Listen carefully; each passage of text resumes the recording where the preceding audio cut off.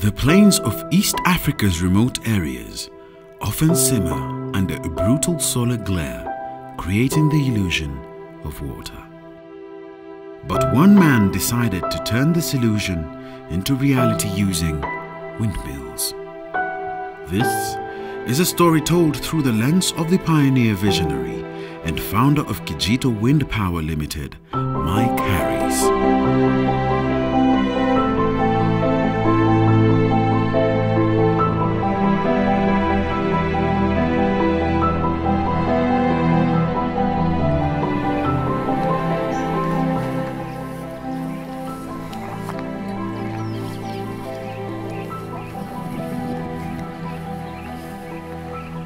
Wow, this is this is not something that I expected to see. This is a bit like seeing your daughter being violated, really. I mean, th this machine was put in 2004 for this girls' school, funded by the Ministry of Energy, two million shillings worth. The sad thing is that the the, the, the, bits of the windmill that have just been thrown here in the bush, there was nothing wrong with, with those. The problem was always down the borehole. Right at the beginning, when we put this windmill here in 2004, we went to the authorities and we said, look, we, we make this machine, we can maintain this machine, and just, and for the first year, we visited it a couple of times and, and, and everything was okay. Now we come back sometime later and we find the whole machine has just been cut up in pieces and thrown into the bush. Two million shillings worth of our taxpayers' money. It's just been thrown in. There's nothing wrong with any of this equipment here. This is, it was the down, down the borehole things that were the problem. And the sad thing is that the headmistress told us that she had to now go and connect with, with mains power with a submersible using mains power, which is very expensive, costing you more than 20,000 shillings a month, okay? The sad thing is that the windmill could have actually stayed exactly where it was and they could have put the submersible down without removing the windmill. So, but they just come, cut it to pieces and throw it in the bush like a lot of rubbish. I mean, th this is, this is heartbreaking. It really is heartbreaking. In the institution, the borehole uh, provided water for the use in the school kitchen, for use in the fish pods, and also for the growing of the vegetables. Uh, outside there in the community, the school was able to sell water to the community and it really assisted the community. Since the borehole broke down a few years ago, uh, we no longer have fish in this com compound. Uh, the vegetables, they are little a problem, and the cows are really struggling with the water. So we would appeal to the Kijito group to revive the borehole for us so that we can be comfortable and we can continue with uh, what we were doing, our project, the fish with the vegetables and the like. Si ile iko tu area tulikuwa na shida, kwa maana tulikuwa tumezoea hii, hii maji ya hii pampu ni mzuri kwa kupika chai, kwa kuoga, haina chumbi. Sasa vile iliharibika, si tuliluti kwa, kwa mto na mto kutoka hapa kwetu eh, ni kilomita kama mbili, ukitembea uende maji. Madhara ile imepatikana sasa, hizo miti tulikuwa tumepanda na mboga sindi zilikauka, tukaishiwa na mboga. Sasa mboga kilioko, ni kabati. Hata wale wako na tuoski huku wanaendea tu huko, na zamani walikuwa nakuja tu hapa karibu. Sasa shida yenyewe ni ukame ndio umeingia, na tulikuwa tumetoka kwa ukame. The quest to provide water for hundreds of communities living in remote parts of Kenya and neighboring countries often seems to be an uphill trek through slick mud. And for Mike Harris, the journey from where he began to where he is now is quite a story. It all started in the 70s when Mike volunteered to fly eye surgeons all over remote parts of Kenya and Tanzania to help restore sight for people who had been blind or partially blind as a result of a fly-borne disease called trachoma. The main reason I got involved with wind, wind power was when I found that children were going blind through trachoma because they couldn't wash their faces. So that's what got me initially involved in, in, in working in the desert trying to provide water. Inspired by subsequent success stories, gathered during his annual trips with eye surgeons, Mike envisioned a windmill that could lift water from deep within the dry plains of northern and eastern Kenya through the Intermediate Technology Development Group in Britain and the funding of up to £250,000 from the British government, Mike built both his skill and business acumen, eventually forming Kijito Wind Power Limited to execute a vision that has seen hundreds of desert families continue to enjoy clean running water many decades later. In Swahili, Kijito, K I J I T O, is a small stream of water. And so straight away I thought that, that's the answer. It incorporates my African background, it's Swahili, uh, it mentions something about water, but it acknowledges the part that intermediate technology played in that early part of the British assistance to us that enabled us to make the windmill that we're ma- making today. Kijito is an iconic name because you, you'll find a lot of windmills in places that you don't expect in the middle of the bush. For example, in Savo, in northern Kenya, in a place like this. The British aid made it possible technically, but of course we had to do all the flying, we had to do all the building, the bringing things back, checking, remaking, taking them back. Uh, but, but we did it, and we ended up uh, after about seven years with, with a credible machine that, if looked after with a little bit of greasing twice a year, would last 25 or 30 years. It took six or seven years for us to have a machine that actually could start pumping water for a long period of time from deep depths. And of course, all the extra work we did, we had to do at our own expense. Once the guy has bought a windmill, you can't keep telling him to pay more because you're developing it. Mike's early struggles were due to the fact that his academic background is in agriculture. This, however, did not deter him because he had gathered necessary skills as a bush mechanic running a Kenyan farm.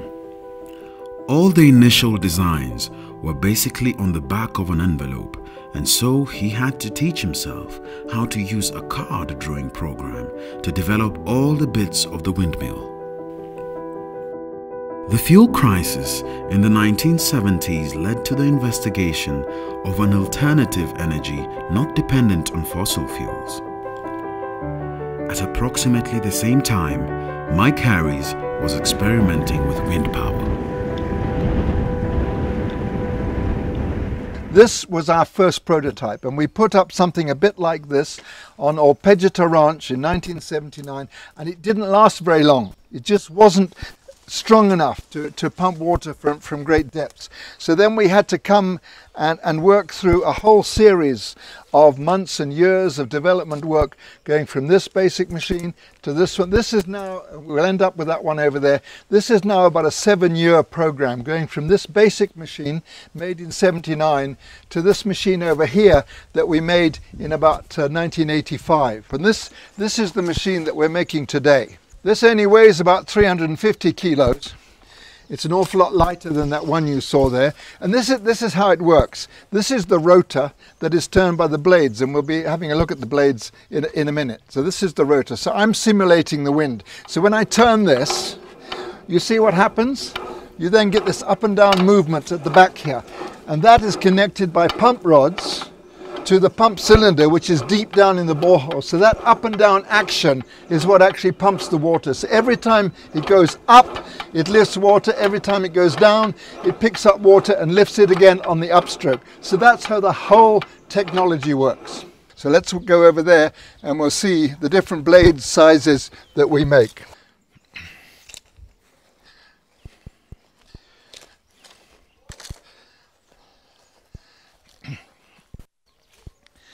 This now helps you to get some idea of the different sizes of windmills that we make. Obviously the power that a windmill can generate depends on the size of the blades. Obviously the smaller the blade, that's a 12 foot, so that's, that's six foot, so twice that's 12 foot rotor.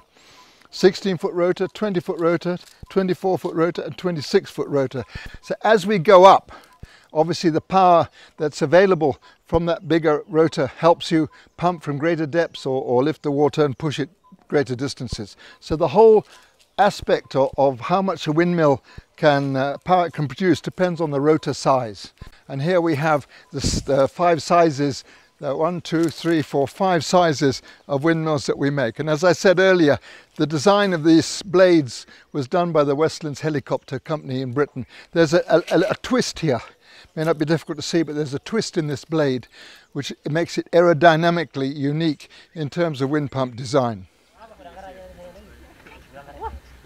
Mike was indeed an early prophet of wind power in Kenya believing that building windmills to lift water from boreholes, dugouts, and rivers could be done profitably.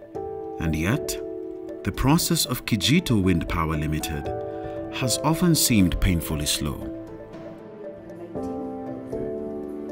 From 1980 to 2012 or 13, we actually installed nearly 500 machines in East Africa and beyond. We also exported a few machines to, to other countries, but obviously the bulk of our machines were in East Africa, okay? Kenya, Uganda, Tanzania, Rwanda.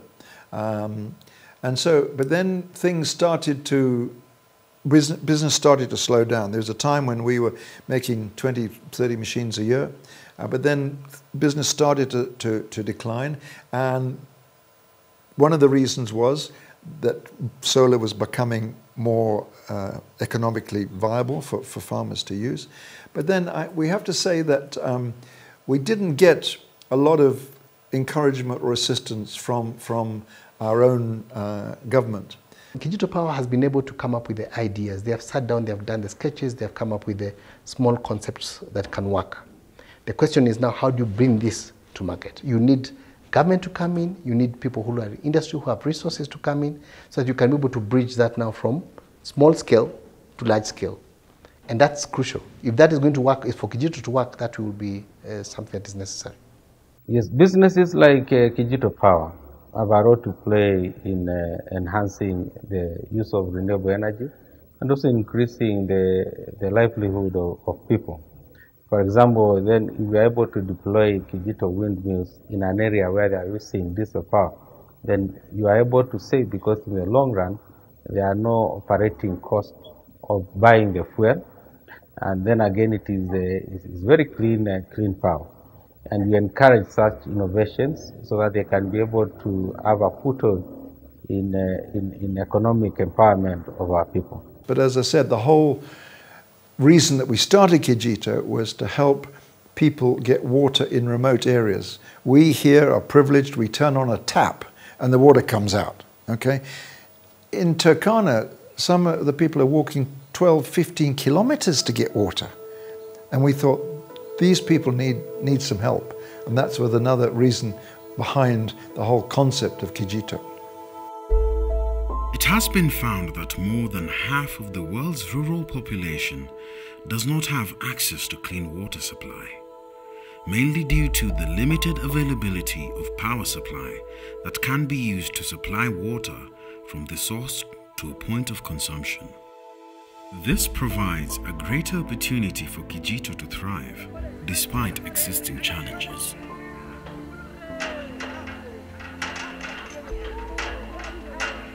Initially, most of our people that were buying windmills were NGOs, okay? Um, some of them overseas NGOs, people like World Vision, um, people like USAID, people like uh, ODA, people like GTZ, they bought a lot of our machines initially as the technology was developing. But then we started getting involved with ranchers, as with Ol Pejeta, uh, and then we started getting involved with, with smallholders, because we make a, a, quite a small machine that is adequate for a, a smallholder who's got a, a small well and just wants some water for two or three cows and some vegetables that, he, that mama can grow for, for the house. Um, and so we actually developed a much more indigenous customer base. First and foremost, we were looking for a medium yield uh, borehole. So we were not really interested in a lot of water uh, per hour, uh, just for the needs of a, a livestock farm. And uh, we realized that we would not be using any diesel.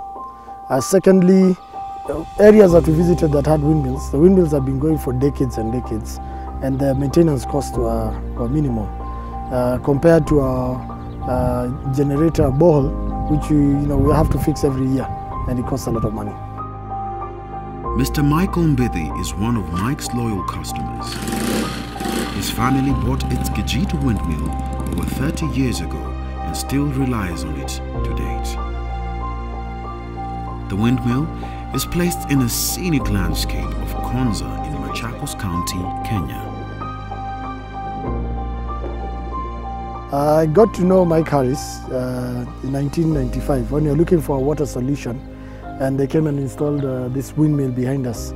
Uh, basically, we looked around for a cost-effective uh, uh, uh, alternative energy solution and this was the first solution that we were given, the best solution we were given. The Swim pump has been standing there for the last 23 years, actually 24 years. And in that time, uh, on average, we have been watering about uh, 1,200 cattle per day. Uh, this we have two running boreholes at any one time. This has always been running, and uh, apart from the 1,200 cattle, uh, we also water about an approximate number of about 3,000 head of game. So there's, for example, right now in the dry season, uh, when the, the dams are dry, our, our water needs are fed. Uh, both our domestic water feeds and the livestock water feeds and wildlife are fed by this windmill and one other generator. You do not have to run uh, uh, putting diesel and looking for diesel every moment. And uh, it just pumps day and night. Uh, it, it, doesn't use the sun, it uses the wind. The wind is there day and night. So you, it's, it's a great joy when you go to your tank and it's full and uh, you are not there to pump or anything and uh, you know to a point even that some of the excess water we use for irrigating uh, uh, our vegetable patches. So it's a, it's a very good installation. Kijito Wind Power Limited is primarily a family business, but together with the employees who have been part of the company for more than two decades, it is one big family, guided by uncompromising integrity desire to serve humanity. I've always been the, the, the chairman and, and, founder, okay? My daughter, uh, when she came from college in uh, 1981, 82, uh, the, the plan was, and this has been a family joke, the plan was that she would just come and help her old man get this thing off on the road. and she never left. and so she's been working with us right from the very beginning. So she, she was the financial director. For a while, her husband, uh, Julian, was also part of, of the financial accounting side.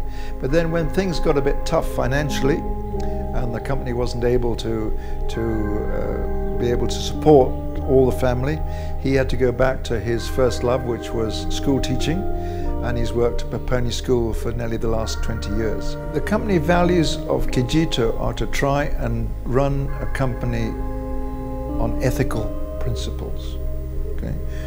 We do not bribe. We have never bribed a single person for anything in the history of the company, and I don't believe my father ever did before.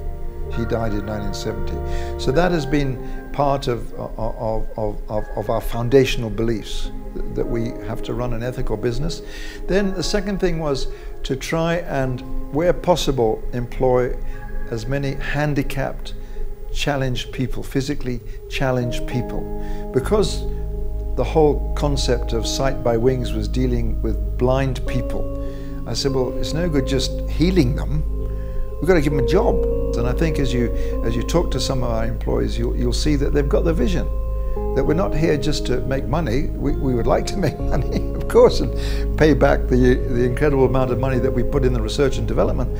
But also we're here for a, a service. We're here to try and help people uh, who are not privileged to be able to turn a tap on and get water. The most impressive value that uh, you know I, I value about Kijito is uh, the fact that they are dedicated to professionalism and quality first. Uh, they know that water is not an issue of uh, waiting usually when uh, a pump breaks down, uh, it's just a matter of days before the entire dam dries, uh, the, the, the, entire ranch dries up. And water is a very valuable aspect of running a ranch. So the most important thing is that they come to the rescue. no questions asked, as soon as possible. They'll even arrive here at night and make sure that the work is done very fast, very efficiently, professionally, and with quality. We have not had to go back and say, you have given us bad parts or it's not working. Whenever they do a job, that windmill runs, you know, for two years without needing any service. Secondly, uh, Kijito value conservation. So we have been able to discuss with them, for example, when repairs and, and work is expensive, they've been able to give us discounts on the value that we are a conservancy and that they support conservation. Some of the people that Mike employed at the beginning had O-level certificates, but he trained them on the job, and now they are skilled workers from a mechanical point of view. But it's been a gradual process of bringing these guys, some, as I said, just form four levers, to being very skilled artisans. And it, it does need a special sort of person, uh, as you saw when we went down to to uh, Mr. Mbithi's farm. You're, you're, you're dealing at uh, doing something at 30, 40 feet above the ground, and you've got to be comfortable up there. And, and some of the guys initially were not very comfortable, but very soon we were able to cope with that adequately and safely. Mwanzo nimefaidika kwa ajili ya wakati ninapotumwa kupeleka kijito kwa site. Ni sehemu mingi sana ambayo nimeshajua. Coast Province, Eastern, wapi wapi, nimeshatembea kule. Mike cha kwanza, yeye ni tajiri ambaye ameajiri watu katika kampuni hii ambayo jina lake aliweka kijito, yaani ka stream kidogo ka maji, na pia kutoka hapo inafaidi sana watu kwa upande wa maji na mambo kama hayo. Nimefaidika na mambo mingi kwa sababu sasa nimenunua shamba, nimesomesha watoto mpaka wakaenda university, tena nimeongeza ujuzi ya kuwa foreman ya kuangalia watu. Sasa- ujuzi wangu sasa imekuwa mingi sasa, kwa sababu naweza fanya na watu wengi. Kwa, nikija hapa nilikuwa sio foreman, nilikuwa nimekuja kama machinist. Sasa ndio nikaja nikipata gazi kutoka machinist mpaka senior foreman. E, nimefaidika sana na ujuzi wa upande wa engineering kutokana na mambo ya stima, kutengeneza fridge, mi- microwave kama washing machine, eh, rewetting za motors, vitu mingi zile zinahusikana na stima, hata mambo ya solar. Na mimi najua kabisa nikitoka hapa sitasumbuka, takuwa na faida nyumbani kwangu. Nimefaidika na kazi hapa Kijito kwa sababu nilikuja kama masonary na nimeongezea ujuzi nikawa MIG, MIG welder kwa kuchoma chuma na na, na, na, na gasi natumia CO2. Kwa hivyo nimefaidika sana. Kusema ukweli, ujuzi nimepata ujuzi kama nne ama tano. Kwanza nilikuja kama sijajua vizuri welding, sasa nimekuwa kama mwalimu wa kuchoma.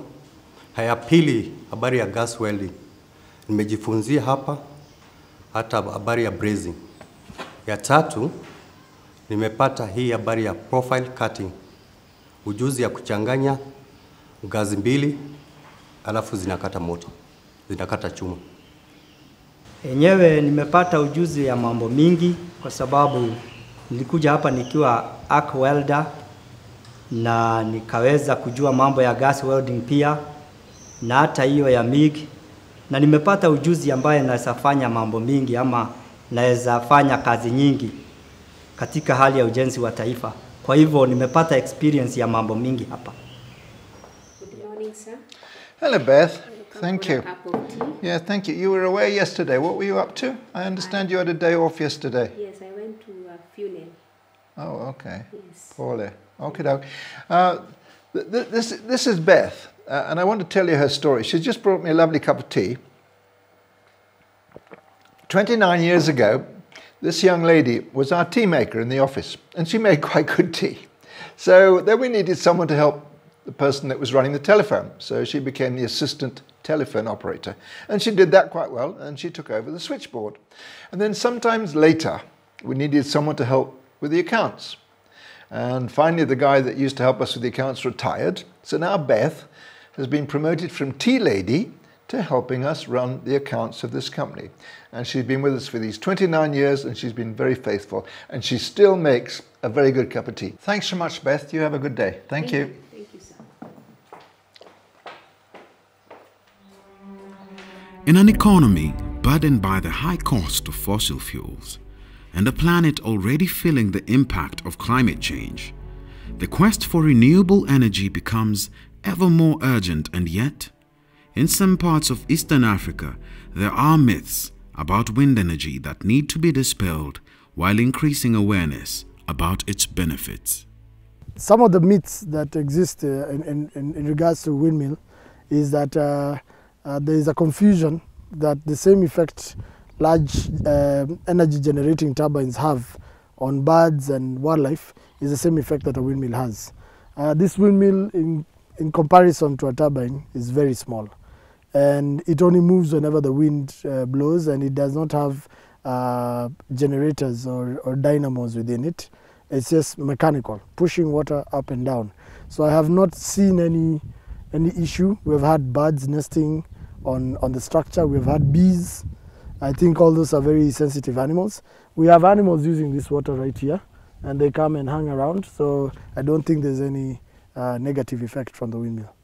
There's one time we were doing a wind project somewhere near Nairobi, and then there was concerns that it will bring uh, health problems to the people around. We were told that it is going to cause women not to get children, it will cause cows not to be able to give enough milk. And so there, there were some myths about um, the wind energy uh, generally affecting the health of the people, of animals, and, uh, and, and, those are just myths. It's not uh, true, really. And it is difficult, you know, without education to convince people. You know, they don't understand how rotating turbines create energy. But I would like to say uh, to uh, assuage all people, whether it be a solar power panel or um, a wind turbine, uh, there is nothing in the air uh, that is that anybody should be afraid of. Everything happens within the technology systems within the wind turbine system, within the photovoltaic cell, okay, which acts as a generator of energy and then transmits uh, to the wiring, uh, whether it be you know, a home solar solution through the wiring in the household or whether it is be to the national grid.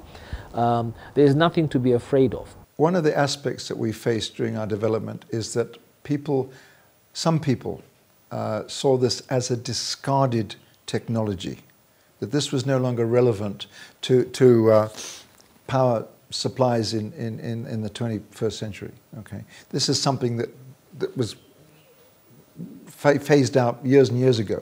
So that, that's part of the myth that we face. This is, this is no longer relevant. But as I've said, the advantage of it is that it can be made in Kenya by Kenyans. Okay, So to me, the technology is still very, very viable. Looking at uh, the importance of wind energy in Kenya, there is a need for concerted effort to be able to increase the awareness of benefits of wind as a clean form of energy. It's available, so it needs to be able to be used. This ideally will call for concerted effort of all the wind practitioners, and but most also on the government. I think a lot is going on in universities and technical colleges around Kenya to start to look at wind and other technologies. There's a lot of courses going on, there's a lot of things going on at the grassroots to try to educate. And of course, there's also an opportunity for employment, for young people to get involved in this. We have been desperate and we have not really succeeded in trying to develop um, the youth of an area to get involved with us in looking after the machines that are used by their community. Documentaries such as this um, uh, highlighting and showcasing projects such as Mike Harris's um, uh, Kijito project is very, very important because I think that the more people get to know, small or big, whether it be Kijito or, the, or, or, or, or Lake Turkana, uh, wind power, that this is the way to go into the future, where we actually are able to enjoy energy from the earth, from Mother Nature, without destroying Mother Nature. Harvesting wind power isn't exactly a new idea. The earliest known uses dates as far back as the 12th century when the first windmills were built in Europe for grinding grains into flour. The type of technology associated with windmill water pumps has enjoyed continuous use since the late 19th century America, where windmills were used for pumping water into farms. Today, the old-fashioned windmill is still being built and used by farmers in developed countries in America and Australia. Electrical energy is not the only useful form of energy. You also have mechanical energy. So for example, in pumps, the wind, the, you still have your rotary motion and now the mechanical energy is transmitted through a system of links or gears, whatever you need, and is connected to a pump and the pump is also using mechanical energy. So based, depending on what type of pump it is, you, you configure your transmission systems to suit the pump and you're able to, to pump water. The kinetic energy of the wind in this case is cheaper to produce. However, over 80% of the total energy consumed by humans is derived from fossil fuels, leading to environmental concerns and climate change because of the indirect greenhouse gas emissions. Everything we use from airplanes, refrigerators, um, the way we do things, uh, just using electricity, you know, and the source of electricity, because some of them are fuel driven, means that we must now stop and say, what impact are we having on our planet? and what will our children, grandchildren, or what will posterity find on planet Earth? And because of that, that discussion on more renewable forms of energy uh, becomes very, very important. Many people feel that if we do not start reducing our carbon emissions quite soon, we're, we're going to get to a very serious perhaps not quite irreversible, but getting to a very serious position. So almost every day now we're reading about initiatives to try and increase renewable energy around the world. And it's, it's getting worse uh, because of this uh, global warming effect, right? So basically the less we can control the weather, the less we can control our sources of energy. And this is not going to be beneficial for us because then that means we cannot rely on renewable energies in the future. So we really have to stop this global warming in terms for us to be able to really rely on renewable sources. Kenya has uh, put some strides in the development of renewable energy. Currently, our electricity subsector, 90% of it we get from renewable energy, mainly hydropower, geothermal, and right now wind energy is coming in. The share of wind energy right now is about 13%, which is significant uh, because a few years ago we only had Ngong Wind, which was producing 5 megawatts, it has now increased to 25 megawatts. And now we have Lake Turkana, which is 310. It's giving us a lot of uh, energy generated to the national grid. In the case of Kijito, the only emissions that the windmills produce are indirect, meaning that those that result from manufacturing parts, installation and maintenance, but even those are minimal. Harnessing power from these windmills would help combat climate change and save a lot on power costs that are continuously on the rise. Okay, let's take a, a, little bit of walk around our facility. Our guys are off to lunch right now, so it's all quite quiet. But just to show you how, how the layout is here. And of course, this has been built over, over a number of years. This is our paint shop, okay, where we spray all the blades and all the other aspects. So this is where all the spraying happens right here, okay? And uh, all the paints and things are kept in that store at the back there. So this is where all the, the, the spraying is done. And then this, um, this large room here is where we do the assembly and the fabrication. And this is where the bulk of the machine is made. We will go to the machine shop in a minute, and that's where all the expensive equipment that we've had to buy. But this, this is our, our general assembly and fabrication. Uh, this, this machine here is um, some rollers. This, this rolls the blades to give them a little bit of a curve. So the blades have to have a slight curve in them so that it goes through here and that, that rolls the, a bit of a curve into the blades here. Here we have uh, blades waiting um, to go through the different processes. So here we have the, the blade spars here uh, and other aspects of different things that, are, that, that have been fabricated. Here, this is where a lot of the, the fabrication happens here.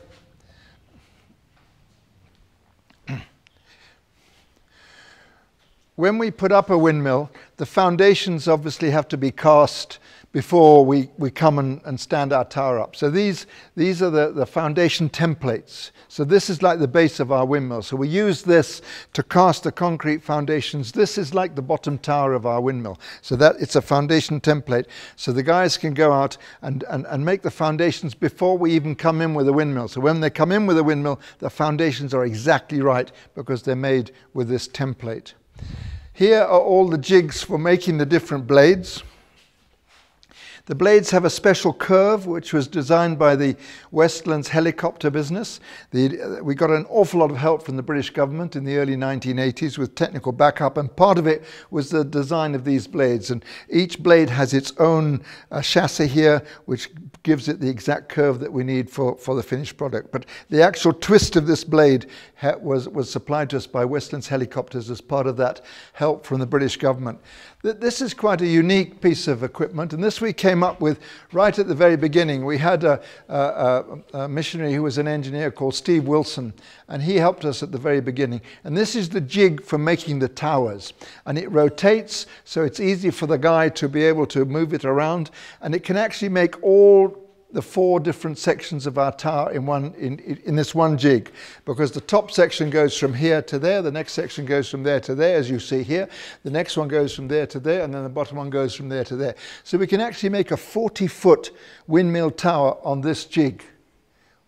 And, and we've now made installed nearly 500 Kijitos. So this has made nearly 2,000 bits of towers here uh, over the years. So um, that, that's, that's pretty unique and, it, and it's, it's served us very well.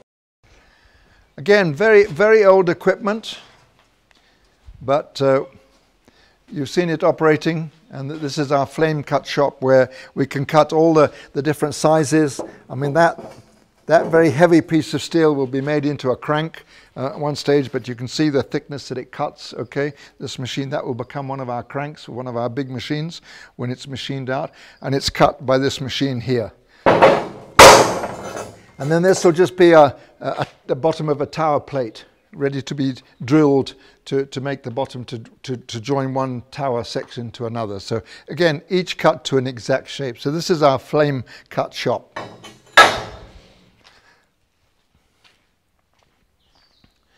So now this is, this is our assembly, but also the back is our machine shop. So this is where the actual, once we've made all the pieces, the machine comes in here and it's assembled on this table. You see all the various components around, they come and bolted all together. So this is where the actual transmission is assembled.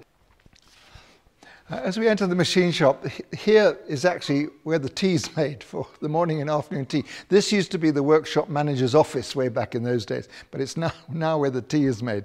Now this is where the real heart of, the, of our fabrication unit is, and this is our machine shop.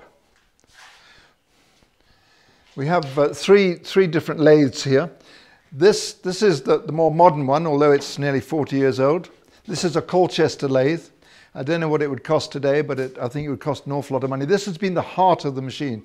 And as you saw, Kariuki, our senior foreman, has just done what he can do with this machine, you can't believe. He is so skilled.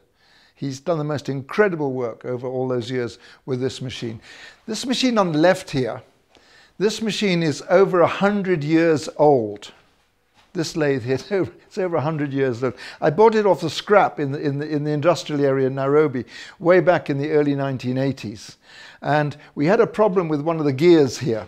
So I contacted the manufacturer of this machine back in the UK and they said, sorry, we, we, we don't have spares for machines that are 100 years old. But anyway, we, we never actually had to change the gear. It's just incredible. This thing is made like a tank and it's done a lot of our rough work over the years. And then over here, there's a very small lathe. This is very, very old, but this is, this is a little bit history because uh, when my dad, when I was a child, and my dad had this in his workshop up near the house. And I used to, when I was just a little kid, I used to watch my dad using this machine way back, you know, in the 1940s and 1950s when I was a kid. And now we're able to use it here in the workshop. And it has been in, working in this workshop ever since we started the uh, Kijito work. And then let's just move to the store here.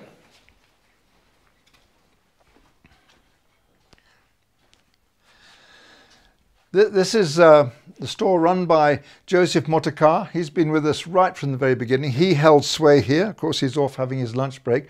But the interesting thing about this store here is because we make 90% of the windmill, we don't have to keep any spare parts. So here, he just keeps the tins of paint and the bearings and the nuts and the bolts because everything else we make. So the actual store here doesn't actually carry an awful lot of stuff because we, we make everything. So if suddenly somebody wants a spare, we can we can make it in just a few days. So we don't actually have to keep a huge stock of spares here. He also doubles as the first aid guy. He's gone through some training, so he's licensed to to run the first aid. So if people have cuts or bruises or whatever, tummy aches, whatever, he, they, he comes here and he he uh, is licensed to to help them with their with their complaints, and he has his little medical kit here as well. So he's he's a multi-purpose guy.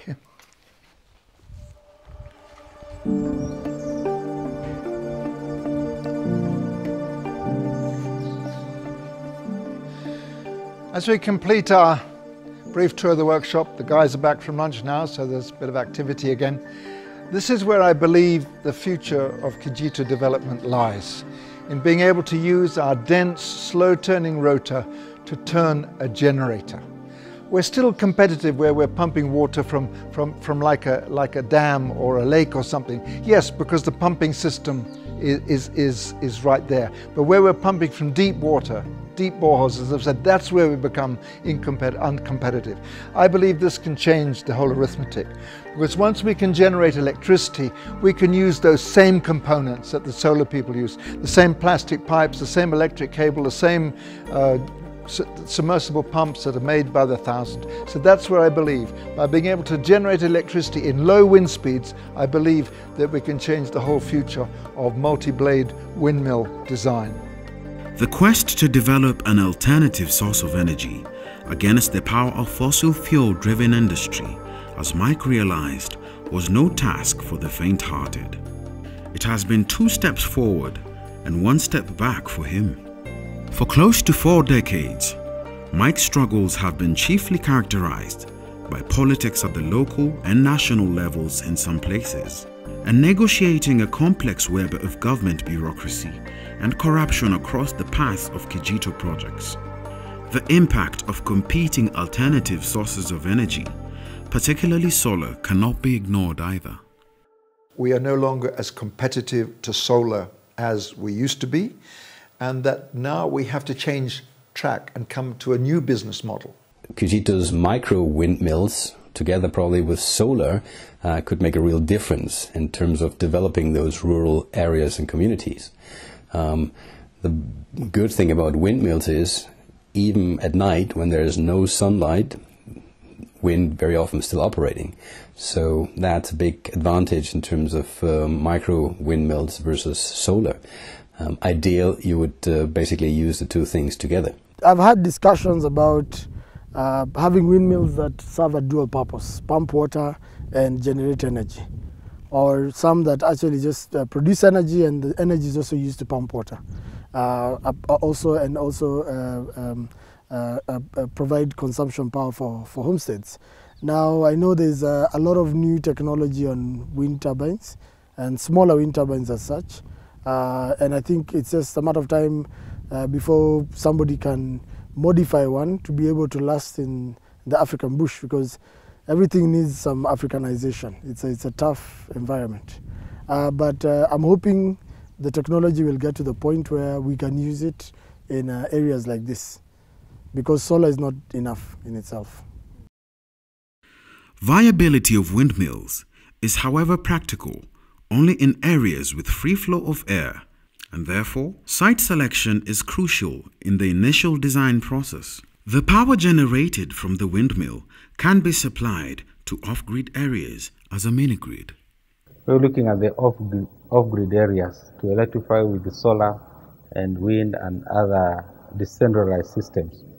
We think then if, if Kijito was to also use the same technology they are using for water lifting and be able to innovate even small wind turbines for, electric, for electrical power generation for energy needs of, uh, of the citizens, that would be very good. And that calls for uh, collaboration with our research institutions, educational institutions, so that we can be able to innovate and bring uh, current uh, technologies into their model of uh, technology. A mini grid is basically an isolated grid not connected to the main grid that serves a smaller uh, section of the country or the community, depending on what you want to call it. So for that, for these um, sections, wind would be applicable uh, to generate electricity to serve these people. And so, and if you're looking at smaller power generation companies, then they would be able to serve such sections of the community very well and um, just depending on of course the costs that they're using to serve the community because of course you'd also find that the people who are living in these areas tend to be uh, of lower income so they have less money to spend Lack of community participation is another challenge that has impeded progress for Kijito in the long run. First of all, the, the, the people that are getting the water need to have a sense of ownership. And if they don't have a sense of ownership, then that does make it very difficult. But we also feel that we have a responsibility to try and, wherever possible, keep our machines going, even if we have to go the extra mile. But of course, financially, that does become a bit of a. When you've got 350 machines littered all over Kenya, we can't visit every single machine and hold people's hands and say, look, uh, you need this or you need that. We have to wait for people to call us. Um, uh, and then we will will go and deal with it. So that's also been uh, part, part of the struggle. I see how important it is to uh, get the community together to really see what are the needs, what are the ideas that the community has, and to develop that further with uh, technical expertise, with uh, um, different stakeholders that can support any initiative that are coming from the community. Um, listening to Mike Harris' story and uh, the current situation of Kijito, we understood that um, what he sees uh, in this moment to that needs to be addressed is the maintenance the, of the windmills, and that um, what what is the reality now is that the community in which the windmill were brought and installed um, doesn't have a real ownership. Uh, there is not a caring from the community. Kwa upendo wangu naona ikiwa itatengenezwa tuichwe kwa baraza, tuelezwe vile tunaweza itumia, vile tunaweza itunza, tuambiwe mkifanya hii mtaharibu, mkifanya hii mtakuwa mmetunza, kwa maana ni yenu, inawafaidi. Sasa naona mkutano utakuwa muhimu sana. Wafadhili ningesema waendelee tu, kama wanaweza ku, kuona mashini ingine iko na nguvu kushinda hii, watuongezee. Ndio sasa, sababu hii wakati tunangoja kiangazi, na kiangazi ikikuja hapa, kama ungekuja mwezi wa tisa, ndio ungejua maneno mzuri. Ungepata hapa watu ni wengi na maji ni kidogo. Yes, maji chini ni mingi, lakini kwa ile kutoka kwa ile voice ndio watosheke inakuwa iko iko low. Sasa mimi ningesema kama kuna pat, kunaweza patikana chombo kingine cha kutoa maji kwa wingi, ingekuwa tumesaidika pakubwa. Naweza kuwashauri watuongezee nini maarifa kama hiyo ya kutengeneza eh, moto, wachanje simu ama waone television, waongezee tu, watuongezee mashini ingine. Kwa upande wangu naweza waambia wakifanya hivyo watakuwa wametusaidia sana, kwa vile tumesumbuka. Kwanza tupate maji karibu, halafu tupate hata kama inaweza tengeneza moto, tukuwe na moto kwa nyumba, si tunategemea tu mkopa. Sasa unajua ya mkopa, kabla hujaweka mia siku hiyo upati moto upati mwangaza, TV inakuwa matoto hata angalia. Hii mashini ya kijito huwa inatusaidia kwa sababu huwa pali sehemu zingine ziko mbali, wacha hapa karibu, watu huwa wanakuja kuchota maji hapa, huwa inaokoa wana, wana, wana ile tuseme kama hii location mzima huwa wanakuja hapa. Wanachota maji na wanaenda makwao, isipokuwa huwa wanatoka mbali, lakini mtu si amesaidika sababu amepata maji. Kama ingekuwepo ingekuwa ni shida tupu. Eneo hii ama watu wa elia hii wanashukuru sana watu wa Kinjito ama kampuni hii ya Kinjito, sababu wakati Kinjito walikuja walikuja hii helia walisaidia hawa watu sana, na wanashukuru sana, wanasema ni asanti, sababu hakuna hakuna manje elia hii ya kampuni ingine isipokuwa hii ya Kinjito. Last, but even more significant, is the lack of funding to further develop Mike's designs, which require rigorous approach for optimum application. You, know, when you look at uh, what Kijito is doing, uh, this is a case where the initial cost is, is very high, but then uh, the other running costs are low, which means if communities are then to get access to this technology, they will need to marshal a lot of uh, resources in the in the initial. But then after that, you don't need to buy fuel because it is uh, you are using a natural resource, uh, and you find that uh, financing uh, is, is, is quite expensive in Kenya. Unable to overcome corruption at county and national levels, Mike has been forced to sell off parts of his property to continue funding Kijito, meaning that some of his long term projects have not made it to the finish line. Kijito actually, amongst our family, it, it's, it's, it's, it's, it's a bit strange because we are very proud, in a sense, of what we've accomplished. But it has been a very huge drain on, on the family resources.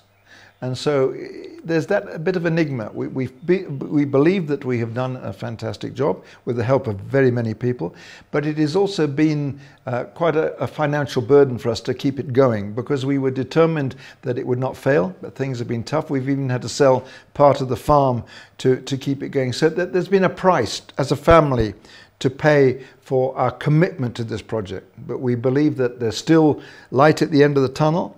We believe that if we can really find some, some people with the technology and the skills that I personally do not possess in terms of trying to, to move forward on this, this whole aspect of generating electricity with a slow turning rotor using gearboxes and belt drives. I believe if we can find so, some partnership with the skills and the expertise that we lack, I believe that that idea can be developed and can bring bless. We, we have brought water to hundreds of thousands of people in arid areas of East Africa and beyond. That's been such a privilege to see kids and animals and even elephants getting water. But the next step is to give them electricity. From what I saw in Kijito, they have done it in small scale. And in Kenya, one of the biggest problems you always have is to bring something from um, the inception to market. So some guys have wonderful ideas and they start them small and they generate the ideas and they test them and they are working and all that. But bringing that to market becomes the difficult part. Now bridging the idea, like what they have in Kijito, from just the concept of generating wind to electricity to actually having a windmill that is producing electricity needs resources. So, and it needs um, uh, research, it needs uh, big labs, it needs a lot of, it needs input. Kijito closes down, we will see that uh, provision of water in some of those areas is going to be problematic. Uh, the women and young girls are going to go to, to the rivers to fetch water, uh, and, and that will then mean that uh, active time is, is lost. And therefore, Kijito should not and must not close down because they have a part to play in the development of the country, in development of wind energy in the country. Despite all the economic and political hurdles, Mike has never lost track of his vision, and some of his early experiences are a source of inspiration, reminding him to soldier on. The other one I remember was a windmill north of Isiolo. And uh, um, I was there passing by, and I had my camera, and there was a, um, a guy bringing some sheep and goats to, to water at the trough. And I, I started taking pictures. It's a lovely picture. In fact, I've got it in my house even today. A lovely picture. And uh, so um, I'm taking the pictures, and this very irate shepherd comes up and says, Why are you taking pictures of my, of my animals? Because they, they, feel that sometimes you may be uh, harming something by taking pictures. And, and he got quite irate. And I said, Look, just, just cool it, friend. This machine was put in by my family and my company. And he went, Wow. And he said, You see all these young calves and stuff here that are watering? I said, Yes. He said, Those are mine, and they are alive because of the water in that trough. And then he said, The other day I came to water my, my sheep and my goats and my cows, and a whole bunch of elephants came in, chased my cows away, and they started drinking the water. So he said, Even the elephants are thanking God for you. So that again, you know, in the midst of all the ups and downs, you get these little anecdotes which encourage you the way you're actually helping and making life easier for those people out in the deserts of Kenya. Indeed, Mike's work is inspirational. It is an example of what an enlightened vision coupled with tenacity could do, but to move forward, there is need for concerted effort by stakeholders and the government of Kenya in terms of technical support and policy formulation to cascade the use of wind power in off-grid zones. Kijito needs to automate so that you can be able to have a, a case where you can be able to diagnose what problem is there remotely. These are some of the things the guys in the solar are doing where you can be able to have a system but you don't need to go there physically. You can be able to monitor the through uh, remotely. I think Kijito is in a very good space to influence policy change, even including things like can we put more energy into our local research? Why should I import a whole uh, windmill from Italy or from Germany? Why can't I produce it in Kenya? How am I going to get the youth employed?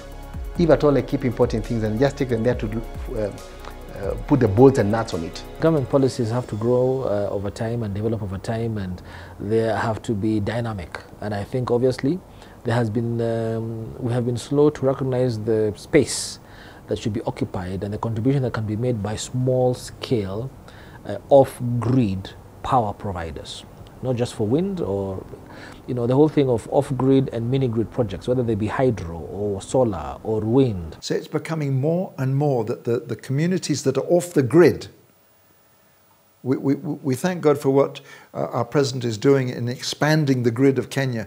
But uh, by 2030, there's still going to be an awful lot of places in Kenya that are not on the grid.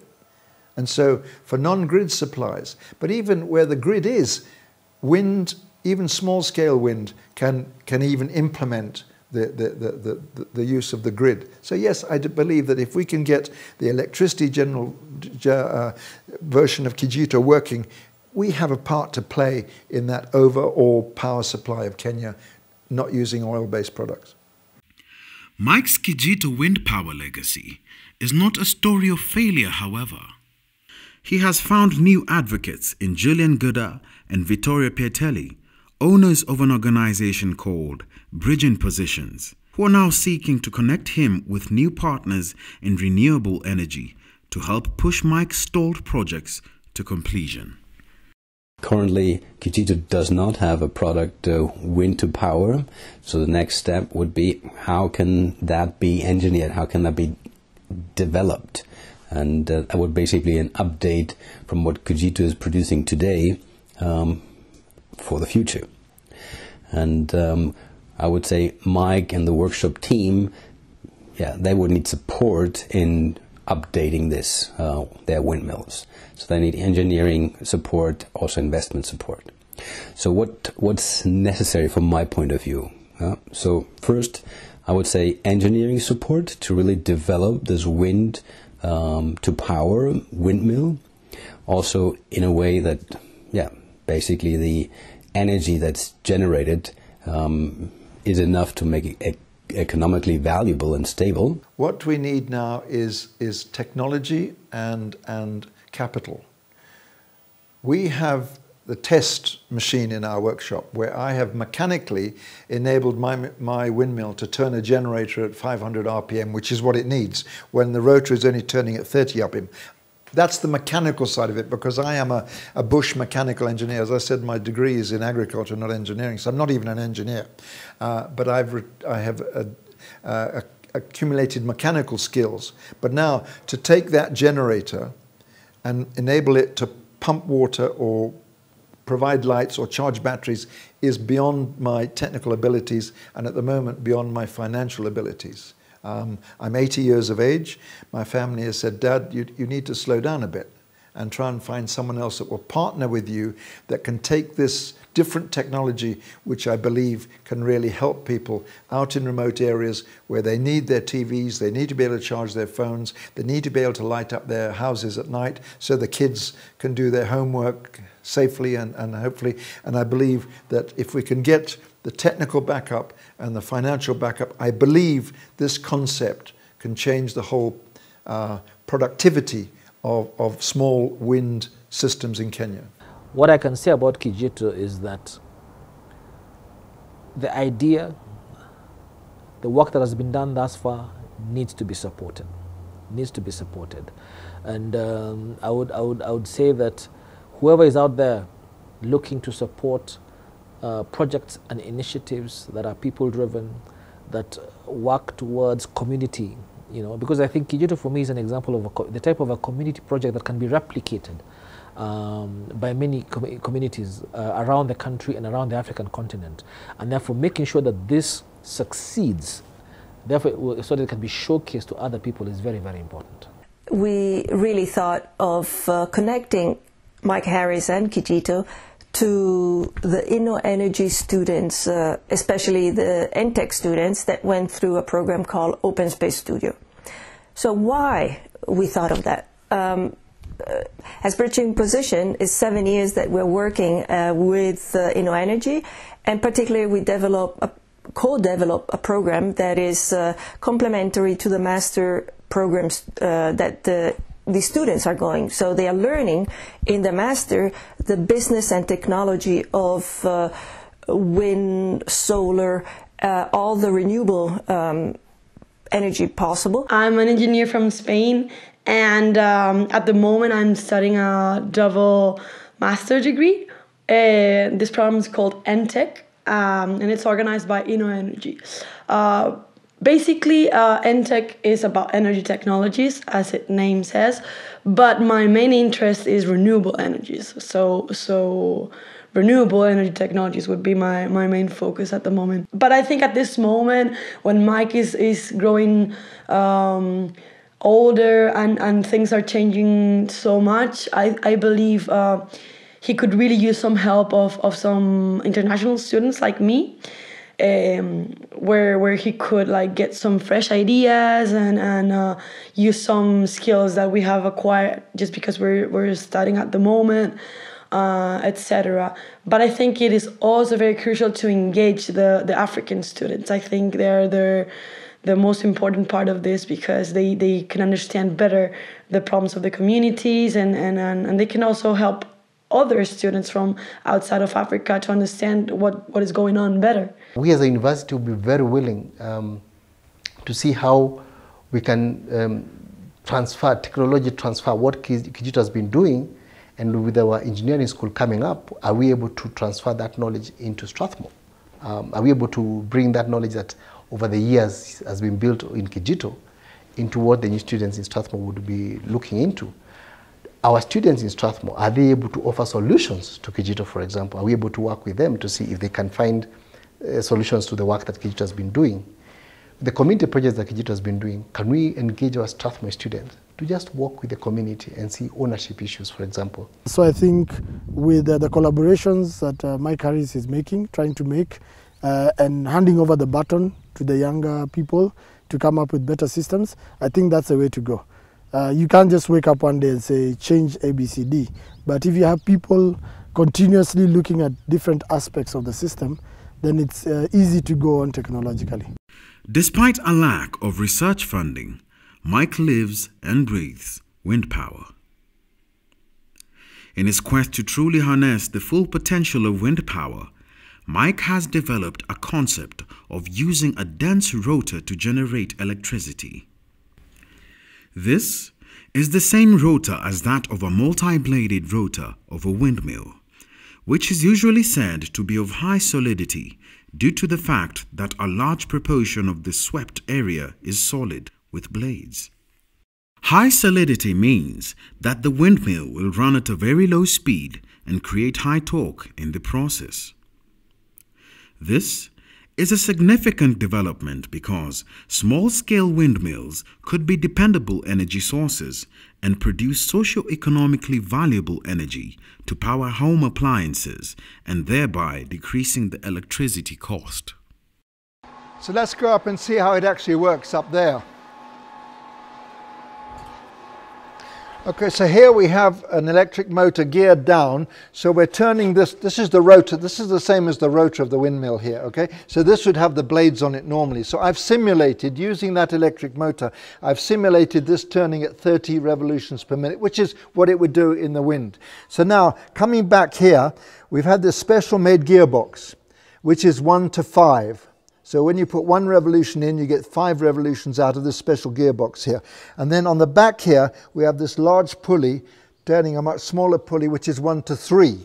So putting those two things together, we get one to 15. So that's how, with this rotor turning as it were in the wind at, at uh, 30 revolutions per minute, that generator down there is going at 450, which is what it requires for its peak performance. So that's how we've enabled a very slow turning rotor to turn a generator at the RPM that it requires to be efficient, which in this case is 450 revolutions per minute.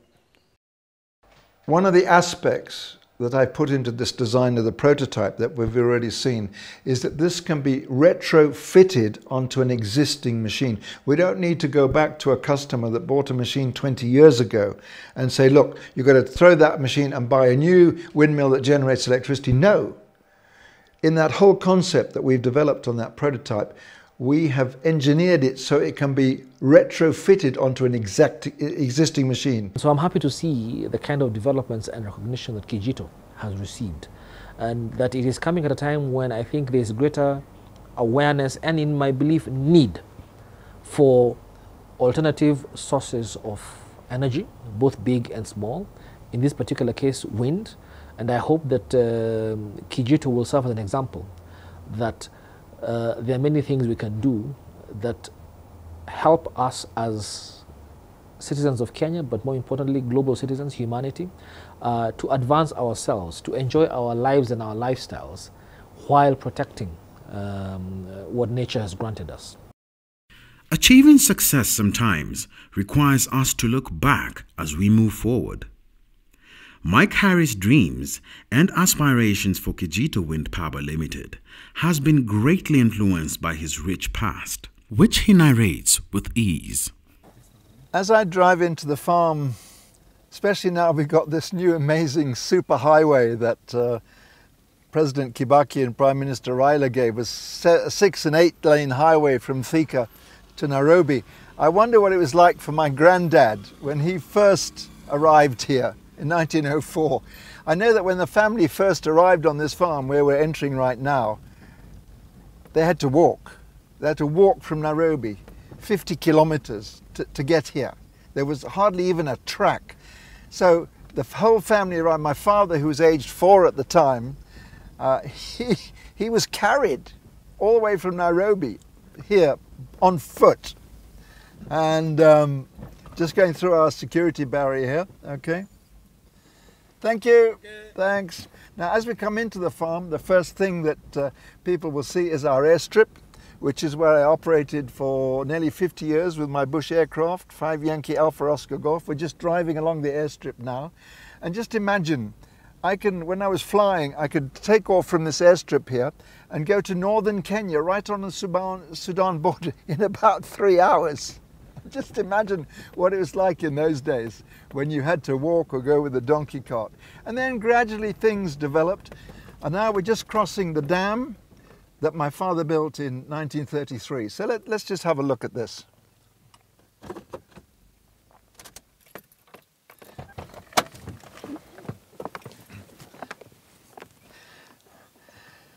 This is our, our lovely water storage dam that uh, my dad built in 1943. Uh, when he came back from the war, he was part of the war effort uh, in what was then Abyssinia, which is now Ethiopia. Uh, and when uh, the Italians uh, surrendered uh, and that theatre of war ended, he was able to come, his regiment was brought back to Nairobi, so he was able to get out to the farm a little bit. And obviously he realized that whatever we were growing, coffee or now avocados, we needed water for irrigation there's no way that you can commercially farm in Africa without irrigation. So my dad built this dam in 1943, and in those days we didn't have tractors. Uh, so this dam was built by hand, by people and, and oxen using ox scoops. It was, a, it was a huge, and it must have taken him, I think, uh, nearly two years to complete. But it served us as a storage facility for our, our irrigation ever since. I came back from university um, I met a lovely girl in university called Pauline. I married her in the chapel at Cambridge uh, after I graduated. Uh, when I came back to Kenya uh, in 1961, uh, in those days there was national service and I was enrolled in the Kenya Regiment.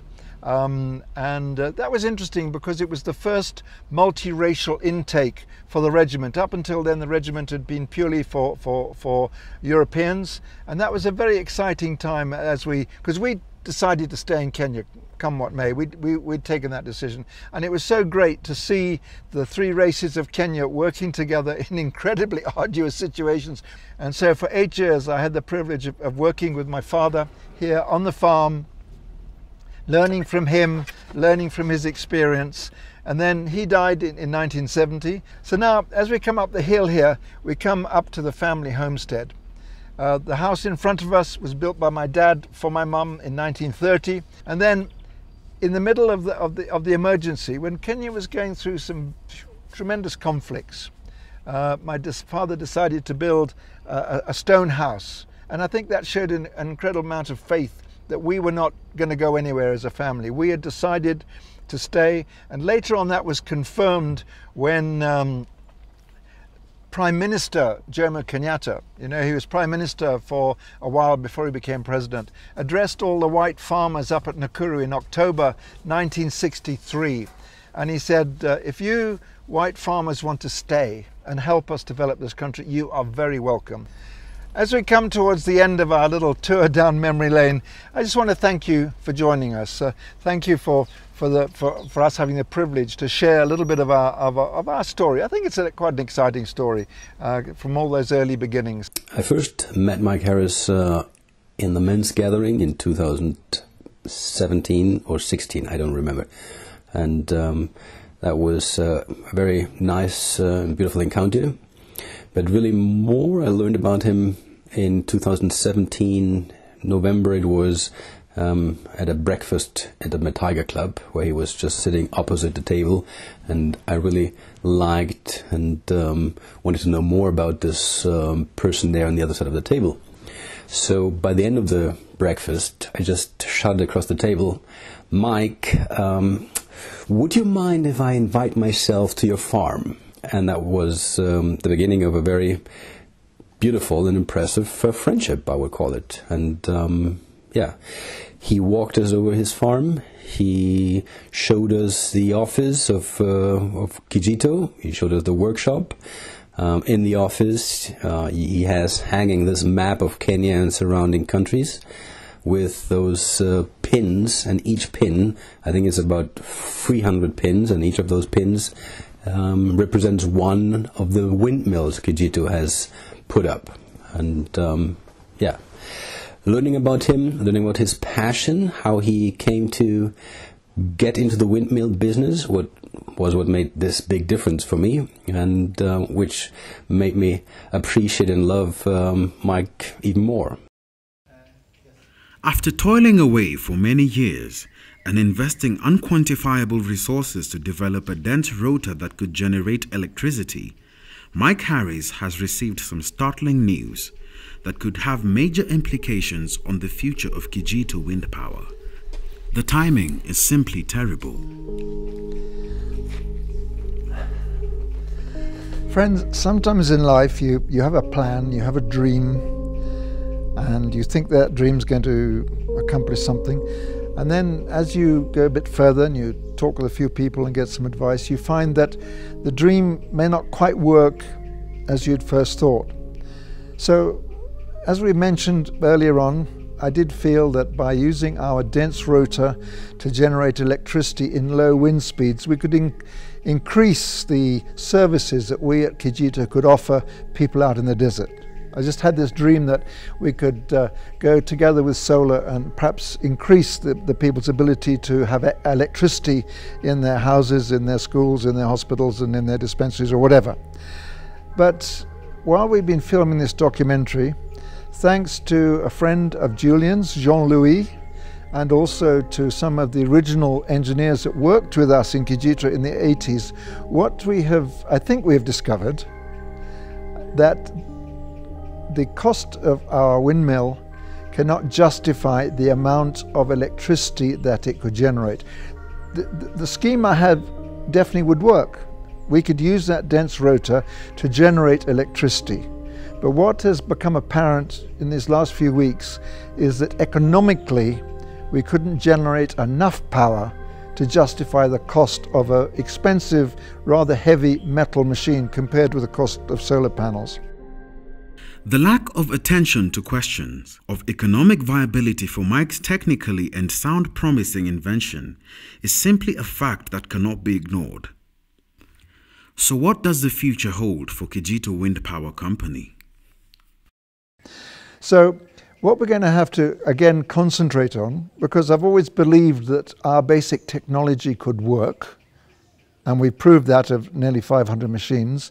And as we've had other people saying already on this documentary, one of the crucial aspects is to get the community more and more involved in the provision of their services that are going to increase their, their value of their lives, the, the, the, the um, uh, services that have access to in terms of, of especially clean water. So I think we really need to now get back to try and see how we can make our windmills work economically and practically in some of these installations. I think we really have to go back to now work on providing the skills that the community needs to service their machine. We have some machines in work, working in Kenya. I've been working for 25 years and they just need a bit of grease and 25 years down the road they are still pumping water.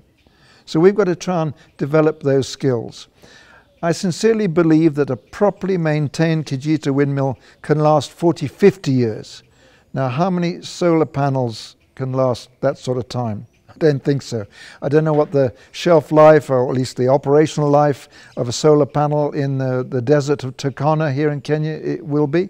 10 or 15 years, perhaps? I don't know. That issue about having water uh, using uh, uh, alternative energy is, is a very big issue. But you see, if you do solar panels, then solar panels, people want to steal them. Uh, a windmill you can't just carry away. So I think we, we want to go windmill, and uh, it also negates the issue of somebody having to put their hands in their pocket and, and buy diesel.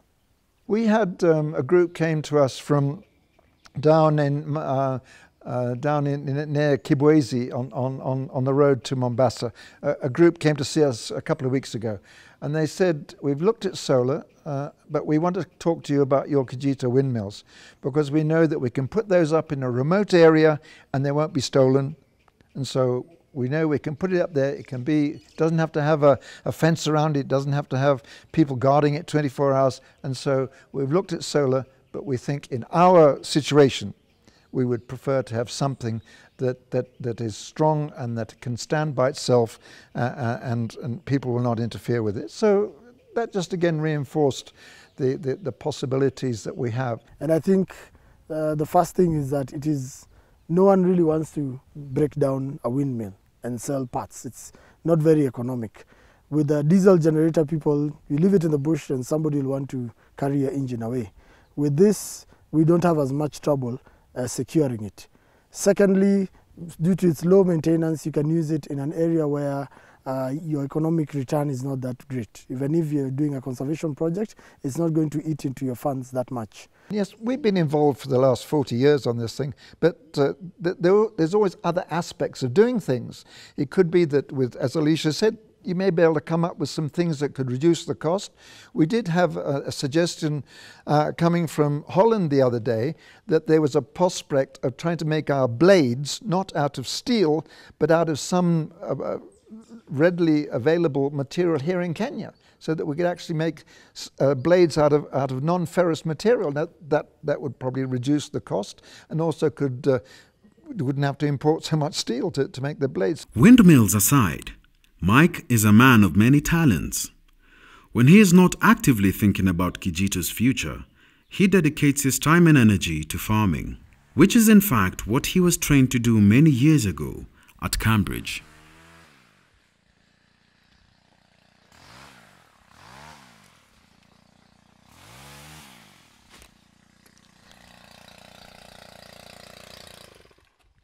Hi, Kevin. Hello, sir. How's it going? Going on well. Okay. When do you think you'll finish this block? Maybe in two days. Two days' time. Okay, well done. Just to explain what's going on here, pruning is so essential for avocados. What Kevin is doing here, he's opening up the tops of the trees to stop too much shade here in the middle.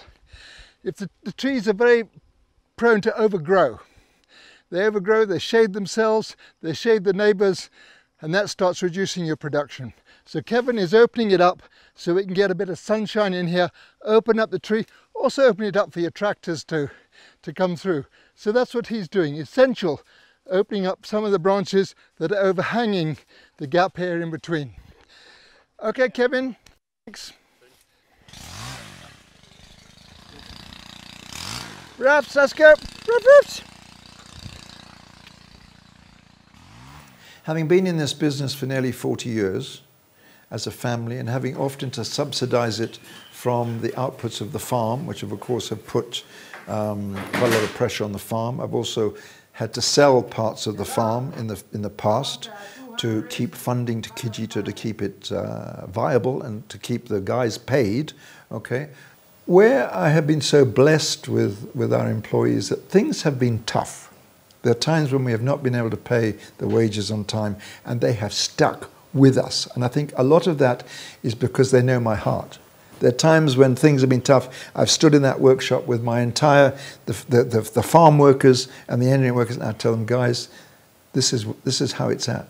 This is, I'm not changing my principles, but right now business is bad. And therefore I can't pay your wages on time and I ask you to forgive me and I'm doing my best. Mike's love for Kenya and his dedicated service to her people cannot be questioned. Even at his age, Mike has not slowed down and he continues to find better ways of transforming more lives. We as a family count it an incredible privilege to have been able to live on this piece of real estate where we are sitting today for 115 years and six generations. We count that as a real privilege and we thank God for that. But Kenya is such an incredible country. And that's why I, have traveled quite a lot, but I've never wanted to go anywhere else. I've, I've uh, even through good times and bad times, Kenya uh, is my home. And it has given us such opportunities for those of us Kenyans that actually want to get up and do something. Kenyan gives us incredible opportunities. I've had the privilege of being a bush pilot for 50 years, to fly all over East Africa in a small plane. What, what a privilege that was. I, had, I was able to work in police headquarters as a superintendent in reserve for 11 years and, and contribute uh, in that, that area. I was invited onto the President's Advisory Council, Mr. Kibaki and Prime Minister Raila's, where, where, we used to meet with the cabinet every three months. What, what a privilege that was. And then I was asked by Prime Minister Raila um, to, to join in the team to, to work on police reforms when he and Kibaki were involved with trying to reform the police back in 2009. Mike ni mtu ambaye anaogopa Mungu na mambo yote afanyayo, kitu cha kwanza ni maombi. Anaomba hii ifaulu na isiwe na shida za kufungafunga. Cha pili, upande wa polisi na upande ya serikali, wengi wanamwamini kwa maana hii kazi wamefanya na wameiona, kwa hivyo wanaona kweli ni mtu wa mwaminifu kwenye kazi yake. Uh, Mike Harris has been a friend of mine for a very long time. And uh, we, have, we have fellowshipped together. We have done very many things together over the years and I have observed the way he has very um, uh, determinedly and consistently and tenaciously. And in fact, I would say that uh, if I was to describe Mike Harris with one word is tenacious, tenacity. Um, he has run his farm uh, down in Kiambu uh, very well. But he has, over the years, tried to do different things um, with a view to seeing what more could he do for society and for the people around him, for the communities around him, uh, with, with, with what has, God has given and granted him and his family, you know. And so therefore Kijito for me, I view it in that particular light, that this is something that he realized um, was a passion for him, but was a passion that would be able to help communities around him and the country. Mike Harris, uh, from my personal view and knowing him personally, um, is a man with a lot of integrity. He's very straightforward. Um, and what I like about him most is that not, he does not stand aside and let things happen. He does what he can to save a situation. Uh, and I think, you know, his proactiveness, even in coming up with windmills in, in Kenya, is something that we should be very grateful about because it's saved a lot of situations in, in areas that would not have water. Um, so uh, my appreciation to him. Uh, Kijito is not very far from Nairobi. Uh, so my first visit to Kijito, um, which is the only visit I've done to Kijito actually, um, was a pleasant surprise that somebody has put so much energy and effort in trying to solve problems that we have in our local setting. And it is not a sung story, it's a quiet story, which is very interesting. It's a story that is hidden, it's a hidden treasure. Um, and this is, resonates very well with the Strathmore story because Strathmore is about little people doing big things yeah, in their own little ways. Eh? What I would wish for Kijito and especially Mike Harris' uh, legacy, I would see Kijito as the community co-creative uh, hub, energy hub in Kenya, in which, uh, yeah, all of the different stakeholders like community, university, you know, that like Strathmore University, but also other universities and different um, stakeholders, uh, possible financial partners that are coming there to see and progress what is need for each community in the sense of energy power. And of course, um, in how would good look like, there would be someone uh, who has the same passion as Mike Harris had so far, um, and who likes to carry on the legacy and do good for Kenya, for East Africa, for Africa, and um, really make a difference um, as Kijito. I think I'd like to say a real vote of thanks to Julian and Victoria. I met Julian in, at a men's gathering last year. He came by here, spent a few hours with us here on the farm. I took him very briefly around the workshop. And we've taken so many people around this workshop. I joke that if I had $10 for every person that had come through this workshop and said what a great job we as a family had done, we'd have paid off all, all the research for Kijito. That's a joke, of course. But he just came and, and he didn't say much, he just said, great job. And then suddenly I discover, Mike, we would like to capture this and I would like to support to make this possible. And, and that, that is just fantastic. Julian and Victoria, bless you. Thanks for, for, for, for doing that because this was not something that just happened. You came up with this. Mike is also neither in doubt about the role his family has played so far, nor the kind of legacy he would like to leave behind when all is said and done. If anything, his relationship with the creator of the wind is his biggest motivation. So I just want to emphasize that this has been a family project right from the beginning. I, have been fortunate to have the lead role, but without the help of, uh, especially the, the kids, Tracy there, th this was, we did a lot of fishing up in Lake Turkana in those years. And in fact, Tracy there, the, the, the fish she caught was 102 pounds and she only weighed 90 pounds at the time. So the fish she caught actually bigger than, than her. And then Brendan also did well. And then Sarah, when she was working in the Maasai Mara, she pioneered the, the, the, the, the fishing of tourists flying from the Mara to catch Nile perch in Lake Victoria when she was working in the Kenyan industry. So it's been, it's, it's been very encouraging to me as the father, and now the grandfather, and now the great-grandfather, to know that I've always had the support of, of, of my family in what we're trying to do. It's been tough. There are times when it's been very tough, but the, the, support has always been there, and I'm very grateful for that. I hope my family will remember me as a, a, person who stuck to his principles from beginning to end, even when the, when the going got tough. But in the midst of this, in the midst of it, I was a loving father. I was a loving husband. um, I was a loving grandfather. So, and that I kept an open relationship with my children, even though generations, you know, I've now, I'm now a great grandfather, so I've now got great grandchildren. Mike Harris uh, will be remembered by many probably as the man who brought the water. And uh, for me, uh, I remember him as, as an adventurous man because he likes, whenever he comes to the ranch to do any work, he comes himself and he, he likes camping out in the bush alone underneath a tree and he loves the nature. So, uh, you know, I remember the, the man with many stories who liked nature and who brings water.